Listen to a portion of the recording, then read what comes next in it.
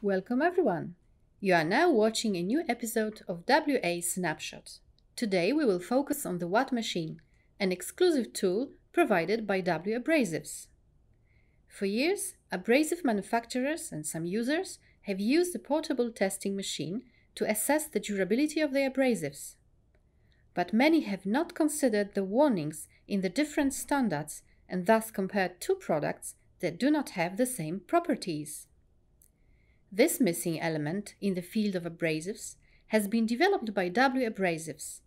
The WAAT machine is capable of simulating the operational conditions of a turbine blasting shot machine. The throwing speed of the abrasive can be adapted depending on the customer's speed. The hardness of the targets can be adjusted to adapt to the real application of the customer. The WAAT machine is equipped with a real blasting wheel in a horizontal position. It allows the abrasive to slide on the blades, hit the target, which is positioned at an angle, and then falls directly to the collector. This process gives more meaning to the lifetime cycle.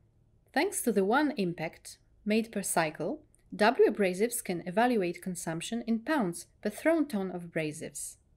It allows the measurement of the media operating mix and makes it possible to compare different samples at the same time for reliable comparisons. It provides reliable abrasive consumption information and proves the quality difference between abrasives. Test conditions can be set more accurately to that of the customer's actual known blasting parameters. Your product's performance is in safe hands. With the WAAT machine, you have one more reason to choose W Abrasives your key success factor.